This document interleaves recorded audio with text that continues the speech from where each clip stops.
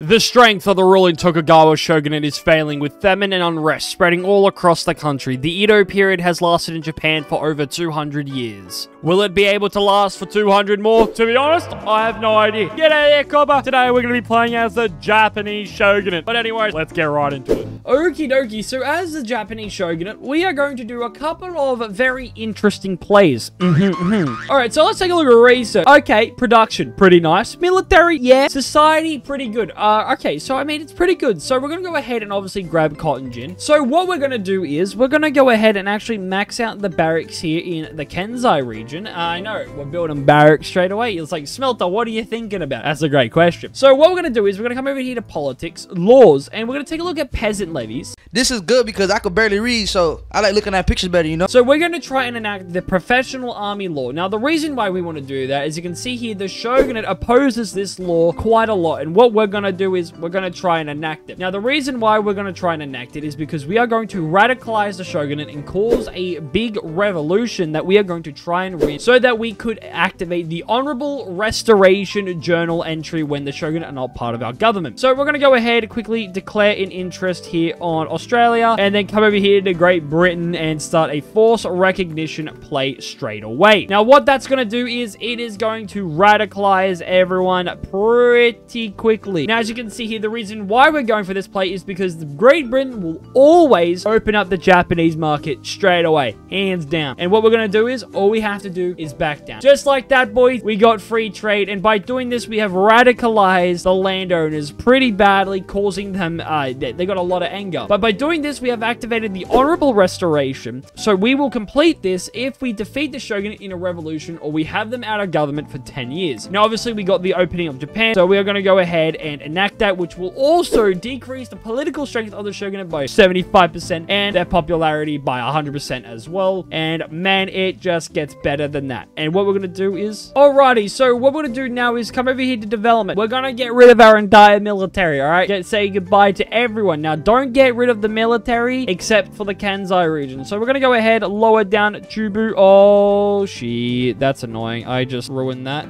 Uh, get rid of them all. yeah, yeah, yeah, yeah. Ah, absolutely magnifique, is it not, lads? Is it not? I mean, they have about four people. I don't know. They're probably going to start stacking up a little bit more. I mean, we're pretty decent all along here. I mean, it's good to know that we got everything still running. Um, and what we're going to do now is we're going to actually... See, we're still building a lot of our construction sectors. And we're going to go ahead and actually max out our logging camps in uh, Chugoku as well, just so that we can build our GDP up, etc. Um, while we're actually fighting these lads. So, actually, I'm probably going to go ahead and send my military over here, just so they don't, um... Actually, no, that's a terrible idea. Yes, we'll be able to push. Wait, they're, they're not moving behind, are they? Wait, where do they go? what?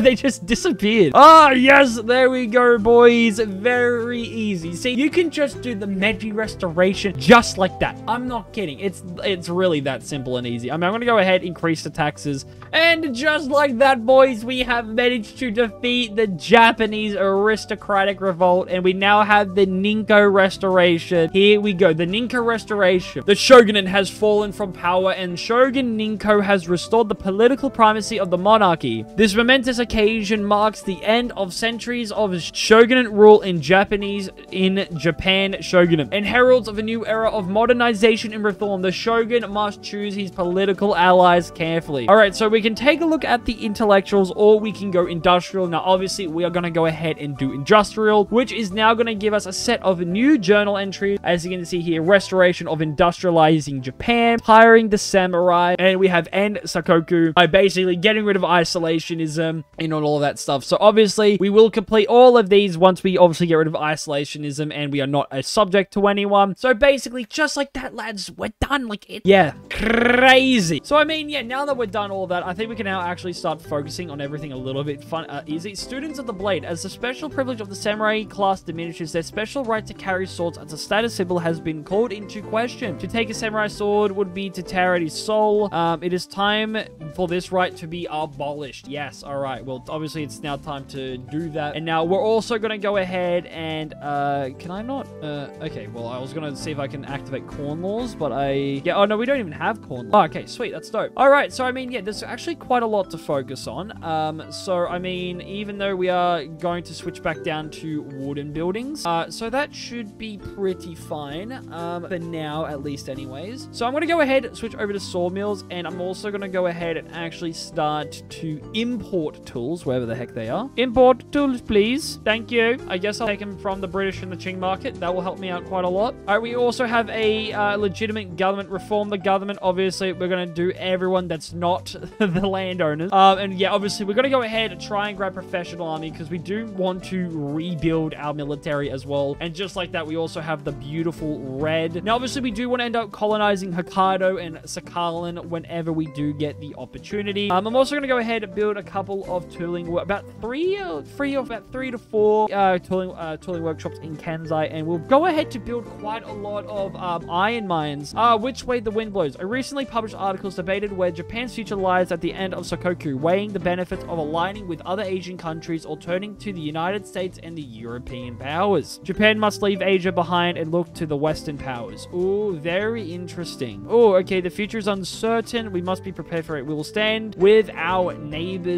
nations. Ooh, which way does it blow? Uh, our relations with the United States improves by 30. See, that's good. I mean, I'm just going to take the plus 10% influence, to be honest. I mean, yeah, it's not really all that much. I mean, uh, the United States is disinterested in us anyway. They're too busy, you know, trying to fight Mexico and battling on the frontiers, you know. Oh, yes, of course, the Emperor will intervene. Cotton gin, wonderful. We're going to go ahead and grab Lathes finally. So, I mean, yeah, other than that, just using all of this to... Okay, apparently that was strange. Uh, can I put a consumption tax on other things? Decisions. Oh, adopt state Shinto. With the restoration of Imperial House of political power, it would be wise to integrate the local beliefs into an official state, uh, emphasizing the uh, Emperor's divinity. Uh, what does this do? Uh, Buddhist monks to marginalize monarchy. 20%. Oh, wait. Oh, we're Mehi Ma Mahayana. Okay, well, I think we could, yeah, adopt the state Shinto. Why the heck not? So, yeah, we, uh, I mean, I'm hoping everyone's adopt. Uh, that's kind of cool. All right, so that's a very unique uh, decision. I didn't even see that up until just clicking on it. And, uh, okay, I mean, I think we might not be able to do professional army too much. I'm gonna do this. Chuck it. Okay, even though we, uh, we uh, what are we? An absolute. We're an absolute empire. That seems about right.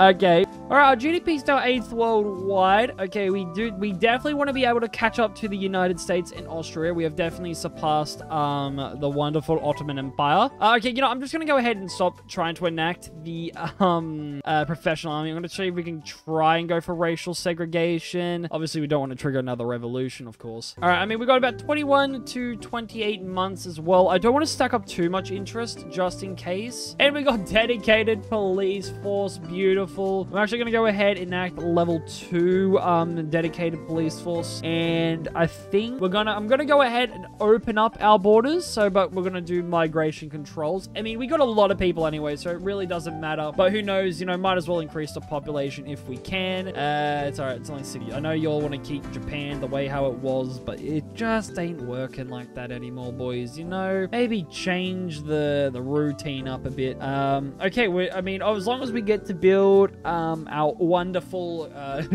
some industries, we'll do all right. Now, retiring the samurai. Now, obviously, I'm just gonna have to build barracks to do that. Now, industrialization. Um, our urban centers need to be level five. What level's our urban center? Okay, it's about level 18. We could uh, go ahead activate market squares, um, but we don't really have enough coal to actually go ahead and do that. I'm guessing Prussia's now gone ahead. Yep, by like a couple million. That's fine. I mean, hey, we're losing interest. That's pretty good. I mean, I'm trying to lose interest as uh, quick as possible. Uh, wood, however, we're about the fourth highest producer as well, which is actually very, very nice. We're in competition. People living in the Ryukyu Islands under dire condition are afraid that migration controls will increase the competition in the job market. Uh, are you kidding? That failed. Okay, well, we managed to grab mechanicals, which is wonderful. So I think we'll also now go ahead and grab railways, and then I think we'll grab water tube, water tube boiling, and then intensive agriculture, and then I think we'll move over to canneries, grab mechanized workshops, and I think we'll be on a pretty good uh, pacing right then and there. um, to be fair. Now, I'm going to try and grab racial segregation. Um, now, for... Okay, I'm going to go ahead and... Oh, jeez. Uh, industrialists. Okay, there we go. We got the industrialists in. Beautiful. I'm going to start bolstering the intelligentsia and the industrialists. Okay, well, we don't have enough authority. Alright, so we're going to go ahead and activate sweeteners uh, for groceries, which will be wonderful in sufficient agriculture. Of course, we'll follow the industrialists' advice. Paddle steamers, wonderful. So I guess we might as well go ahead and build some gun factories. I'm going to go build four in Kansai and four in, or five in Chubu. So one will focus on artillery, while the other ones will focus on actual normal gun production. So then we'll be able to increase our military for when we want to uh, activate line infantry. Monument to the Emperor, yes, I want to take the prestige buff, actually. All right, you, Uruguay. Uh, I can make you into a vassal now. That would be great. Army reserves, beautiful. Okay, so I rest for industrializing Japan. We're about 33%. Uh, Sakoku, well, the isolationism is just going to take its time. We fi okay, we finally got landed voting, man. Oh, it was taking forever to do it. And we actually now have the wonderful flag of Japan. Lovely. Alrighty, so private schools, I think we might have to do. So, I mean, I'm going to go ahead and probably grab a point. So we could go for a point of bureaucrats. Uh, cultural exclusion would be all right. Uh, a lot of people were pushing for British investment. Robert Peel, a wealthy and powerful industrialist from Great Britain, sees Japan as a lucrative and untapped market in exchange for various political favors to be redeemed at an unspecified point in time. Robert Peel is willing to share with this industrial technology with his homeland. Oh, yes, for production spread, yes. Sir, say less 16 months. Oh, my days, dude. That's going to be brilliant. Okay, apparently we are short on man-o'-wars. Well, obviously, we're going to go ahead, probably start importing some of those. I mean, yeah, our fleet, we got about two, so I think we might as well now go ahead, declare war on the wonderful people of Uruguay, a land of want. Uh, yes, a free trade party. We want that, okay? We want a lot of people to to do what they want to do. But yeah, I mean, as you guys can see, we're losing still a decent amount of cash. I mean, a lot of it's coming. Uh, a lot it's from the government administration buildings. I mean, yeah, we do have quite a lot, actually. God darn it, what fucking tarnation is this? Oh, we got a successful naval invasion. Yes! There we go. We are finally uh, battling the Uruguayan people. Oh, man, love to see that. Finally. Oh, my days, bro. I could you not. It's been an absolute nightmare. Uh, coal, we're still the... Okay, we're now fifth producing, uh, highest producer. Iron, fourth producer. Austria's taken over us. Fair enough. Uh, ah, hardwood. Okay, so I guess we might as well want to go ahead and build some logging camps here in Shikoku. Might as well max it out unequal treaties. This is outrageous. Political treaties. I guess we'll owe another obligation to the wonderful people of America. And here we go. We managed to vassalize Uruguay. Dude, that actually looks pretty cool. The Japanese flag on Uruguay. That actually looks pretty sick. All right, well, well, well. Hello, the people of La Plata. I have you know that I am in a very, very aggressive mood, and I definitely want you to work underneath me. So how how is this going to work? Y'all may ask. Well, that's a very good question. It's going to be very simple. La Plata interest activated. Good. We're going to go ahead and turn them into a vassal. All right. Lovely. This is going to be very interesting, actually. Uh, I'm going to go ahead and mobilize my boys. Advance the front. Um, okay, who else? Okay, no, it's just Argentina. I'm hoping Argentina just backs down. Saves me the trouble, I guess. and we've managed to vassalize Argentina. You want your independence? No. Oh, beautiful. And we're now actually getting a decent amount of Diplo packs from all these lads as well. So they're now starting to pay for shit that we can't pay for. Beautiful. I mean, what's our thingo now? Okay, we're at 13.9. Um, the Enders interest activated. What? What? What? And oh, oh, we got one there already. Okay, that's actually pretty cool. I mean, I'm gonna go ahead declare an interest on Indonesia. I'm gonna do one on the Pacific coast, and I think I'm also going to do. Um, might as well do the Baltic actually. Um, I think that'll be very nice. I see. I think I want to see if I can go for a puppet play on Denmark because that would be pretty nuts. Pretty, pretty nuts. Uh, industrializing Japan. That's almost done. Restoring the samurai. Uh, well, obviously by building barracks barracks. We're going to be able to get that done. Ending the Sakoku, so we do not have isolation, we don't have traditionalism, and now all we got to do is get rid of closed borders, and that should do us pretty well. Now, what I'm going to start doing now is I'm going to go ahead, uh, force, I'm going to do a force recognition play from uh, good old Russia, and by doing that, we're going to go ahead and actually conquer the state of Alaska, and yeah, that's going to be that just done in there. So, I mean, now that we have our fleet kind of building up, we've got intensive agriculture as well, Mwah. and we're going to come over here to military, and we're going to grab a percussion cap. Okay, there we go. I mean, yeah, this is a pretty easy, uh, yeah, it's not, it's not, it's a pretty easy war if you ask me. It's not too insane or anything like that. Um, but yeah, I mean, I we just need to fix up these gosh darn thingy things. Okay, I mean, our military is, obviously, we can bring it back up.